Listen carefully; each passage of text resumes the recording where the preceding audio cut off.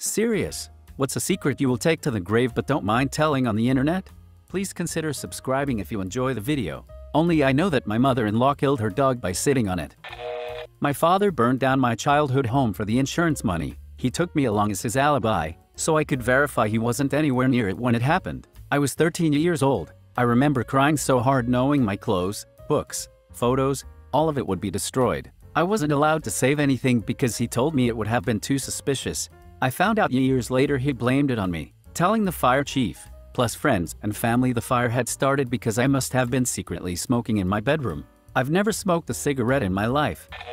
I attempted to murder my mother. She was abusive, verbally but also physically. She'd hit you in places no one would see, or rip clumps of my hair out when dad was on the road for work. She probably has a personality disorder. She got in my face one night when I was coming home from my second job, and I had it. My mom like went through whole periods where she wouldn't work. I was killing myself every summer working 50 plus hours to pay family bills in my parents' names and also get my younger sister to all of her activities. I had IT. I tried to put mom's head through a wall. She started screaming, Oh, help, help, and I told her she could dish it out. She should also be able to take it. Shoved her on the ground and kicked her repeatedly in the abdomen and thigh, while still trying to put her head through the wall with one hand. It's a plaster and lath situation.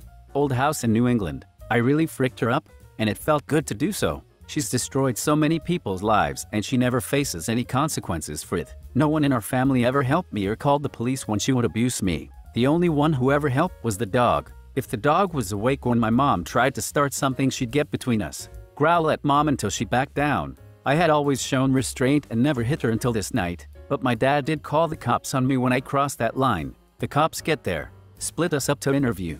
I explained my side and then just blurt out, Where were you assholes when I was 8 and she was doing that to me? The cop was taken aback. I think he could tell I was being honest and it was a culmination of years of shit and pain. He goes and talks to his partner. I think this isn't an assault. I think it's a mental illness thing. Then they basically intimidated my mom and dad into agreeing with them. They wouldn't let it go until they agreed it was a medical issue, not a criminal one. So they called an ambulance and I went to the hospital as part of a diversion program. Basically, they sent me to detox for three days and I emerged with no record. No charges. No nothing except a script for Prozac and a recommendation for therapy, paid for by the state low-income insurance plan. Trying to kill my mom probably saved my life. Honestly, because I got myself some tools from a CBT slash DBT therapist. But I'm not stupid enough to want people to know. Who would date me? How would I ever get promoted at work? Anyway, be kind. You never know what someone's been through and you never know what people are capable of when pushed far enough. I had a sweet, wonderful student who had been in foster care but his mom worked her ass off to get him back and she did. He had to take a very important city exam and she called me and asked if he passed it. I looked at the grades and saw he did and said so. She burst into tears of joy and that is when I saw I had read the wrong score. He had failed. So I changed his grade to passing. No one knew. That was the only time I ever did that. That could have cost me my license. The weird thing is, when my awful corrupt principal pressured me to change other students' scores so we could raise our pass rate, I refused. I never told anyone what I did for my student. He went into the military, was extremely successful there, has a great wife and kids. So I think I did the right thing. Frick those tests. They aren't human. Mentioned before, will never tell anyone I had one of those expensive fancy life-size sex dolls. Got rid of it at first opportunity after getting a real partner, but it's literally the only secret I have that I'm not willing to say to anyone in real life. Speaking of grave, when I was a teenager some friends and I got really stoned and walked around the town cemetery. There was a whole section of generic flat grave markers from the 1800s. I found myself trying to imagine their lives in the same town I lived so long ago. Then I saw one plate kind of sticking up and crooked and I bent down to touch it. It wasn't attached at all, and I lifted it up in my hand. Right then, my asinine stone teenage brain decided to put it in my backpack. I thought I'd somehow honor this stranger more than the shitty groundskeeper leaving it all willy-nilly in the middle of the aisle. None of my friends saw what I did. Few hours later, sober, and the guilt and panic are setting in.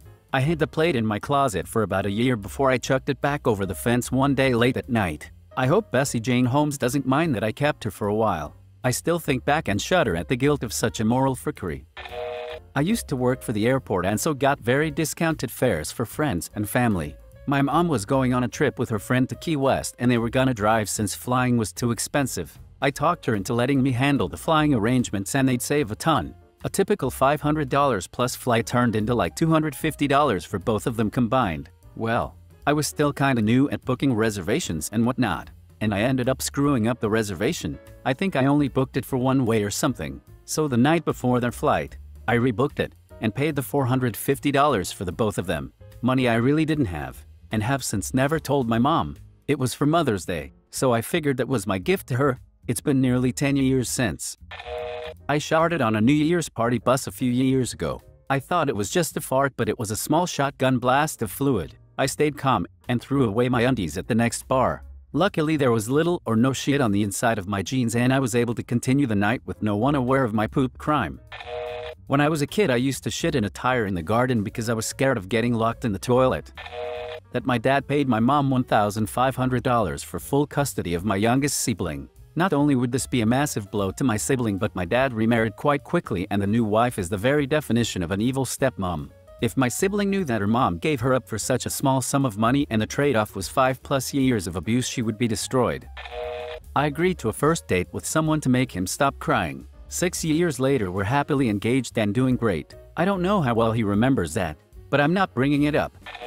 As a teenager, I had cancer multiple times and nearly died a lot. At one point, I spent several weeks in intensive care and survived despite no doctor thinking that I possibly could live. More than 20 years later, Everyone I know still comments on how I survived purely on will to live. I actually spent every moment in that hospital bed in absolute agony, desperately wanting to die. So my grandfather had a hand in making one of the World Series trophies back in the day. He never got any credit, but we have photos and parts from his prototype. When I was a teen I added what I knew to Wikipedia since why not? Although I believe it's gone now.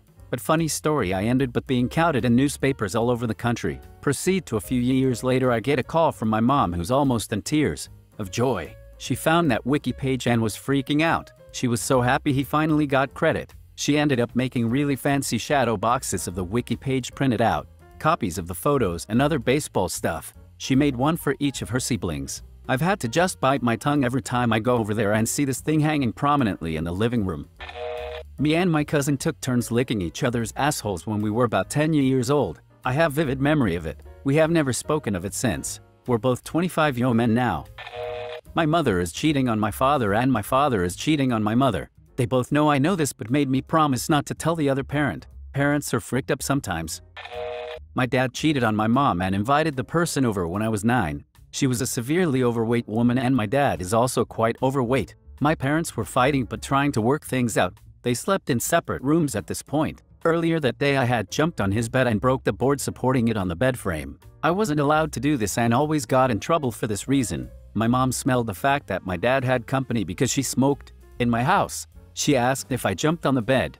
I said no. I feared I'd get in trouble. I was surprised there was no follow-up trying to prove my guilt. Years later I remember why she asked and realized my lie basically incriminated him to fricking her. I'm sure he did but that got him kicked out of my house.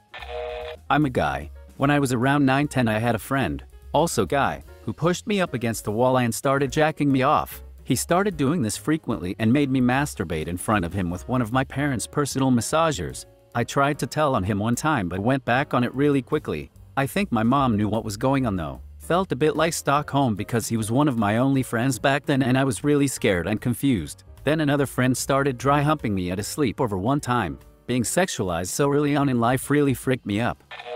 My first car accident back in high school was not because I swerved to miss a deer like I told my dad and the police. I actually tried to pull the emergency brake and do a 180 while going 50 miles per hour downhill. Had I gone off the other side of the road I would have gone down a 50-foot hill and into the river. That was the last time I ever tried anything like that. There just so happened to be deer tracks in the mud near the ditch where I ended up. I avoided a ticket and my dad paid to fix my car. I have never told him the truth in the 15 plus years since. I was raped with an implement in the youth room of my childhood church by my two best friends at the time. We were basically alone in the building at the time. One did it, and the other held me down. They thought it was a joke slash funny. Even once I started screaming. One of them had a moment of clarity and I suppose realized that what they were doing was wrong, and made the other person stop, and they sat there with me for a few minutes until I'd calmed down. Once I regained myself enough to stand, I racked one of them between the legs with a pool cue. Their parents were waiting in the parking lot, and they were going to call the cops on me until my friend confessed what they'd done to their parents. I was pressured into silence by the pastor at the parents' behest. I've told people, so I guess it's not technically a secret, but nobody's believed me because I'm a big guy, and always have been. The last person I tried to talk to about it actually smacked me in the face. So I guess I'll be dying with this one. My father-in-law died of a heart attack at a strip club. The cop told my wife and mother-in-law that it was a bar. They assumed it was a sports bar. My brother-in-law and I had to pick up the car from said strip club. We both pledged to never tell the rest of the family. My brother-in-law didn't have a driver's license. I was only there as the person who could drive the car back to their home. He was ultimately responsible for death certificates, probate or any other legal proceedings after. It's not my freaking business whether or not I should have told his mother and sister anything about how he his father died. However, my mother-in-law is super religious and it would have just made her sad. I grew up without my dad and I went to meet him this summer for the first time ever. I realized he loves me but know enough to ever come visit me. Admitting that that makes me sick to my stomach and sad as frick is something I just can't do to anyone. Neither to him. Once when I was 13 I went a week and a half without pooping. I was on a camping trip and something must have happened with the drinking water slash my digestion. Took laxatives. Nothing worked. My stomach was killing me but nothing would come out. Then one evening after dinner, I felt it coming. I knew this was it. I bolted for the bathhouse, mentally preparing for the epic event. When I finally waddled in the stalls were ALL occupied, at this point I'm freaking out. I'm literally going to shit my pants and in the woods with no means of cleaning. I waddle to the private shower attached to the bathrooms and my desperate mind starts solving problems like I'm Bradley Cooper in Limitless. Initially I think to just shit on the shower drain and waffle stomp it through. But I was not going to be that guy who ruined the nicest shower in the woods for everyone. Like a bolt of lightning I knew what I had to do. So I pooped in the only piece of clothing I could spare, my sock. Obviously my stomach was doing better now and I was hugely relieved. I brought the poop sock to the dumpster nearby and one of my friends saw me on the way. Before I could dispose of the poop sock he strikes up a conversation and starts asking questions about what I'm doing. Internally I'm panicking. The best excuse I could come up with was that I found a sock in the shower stuffed with mud so I thought it best to throw it away. My friend affirms how good of a guy I am for doing that. I throw the poop sock into the dumpster and my problems are finally over. Mud in a sock is a ridiculous story but there's absolutely no way he could have guessed that the real situation was much, much more bizarre. I've never told a soul about this until now, never will again. A girl I knew for three years told me she gets raped by her half-brother every week. She doesn't like it and doesn't want to tell her mom. Since her mom has been married six times and she says that she is very happy with her current husband, she doesn't want to ruin her mom's relationship. So she just keeps going on with it against her will. She sweared on her life that I'm the only one who knows about this. And she begs me not to tell anyone. And the problem is that if I want to and if it gets exposed, she will immediately know it's me. My sister molested me when I was really young. Still not over it. Still live with her. I don't even know if she even remembers it. For reference, she is six years older than me, and she definitely knew what she was doing at the time. I didn't, but I was willing to do it. When I was like four we played electric chair truth or dare, and she made me do stuff. I still remember what I did, but I would rather not recount that here. I have thought about killing myself every day for nearly a year now. Haven't told a soul. Not sure if I will actually do it or not which is what scares me. My depression and anxiety and stress has gotten so bad I can barely leave the house. I regret having kids. I'm not cut out for motherhood and there is not a maternal bone in my body. Thanks for the gold. Weird comment to receive one but I appreciate it. Maybe it's PPD or just this stage of life, but I will seek therapy. I love my kids and I will never say anything or hint about my feelings. It's not their fault. My mom is in a relationship with her somewhat distant cousin. Yes, we call him Shio, Spanish for uncle. Yes, he lives with us. No, we are not from the south. And yes, I find it disgusting. I have done everything I can to hide it from people I know. It is extremely embarrassing. Fortunately, my mom and dad are not related. Please subscribe if you liked the video. It really helps the channel to grow. See you again.